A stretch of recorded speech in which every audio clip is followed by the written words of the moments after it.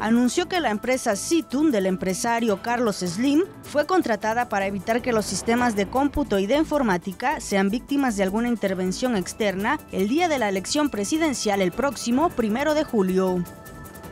Las transferencias de cinco presuntos sobornos de Odebrecht en 2013 y 2014 por 5 millones de dólares coinciden con las fechas clave en la asignación de un contrato de Pemex por 1.436 millones de pesos en la refinería de Tula Hidalgo. Mexicanos contra la corrupción y la impunidad obtuvo documentos oficiales de Pemex que fueron clasificados hasta el año 2021 y que forman parte de la carpeta de investigación de la PGR sobre los sobornos de Odebrecht.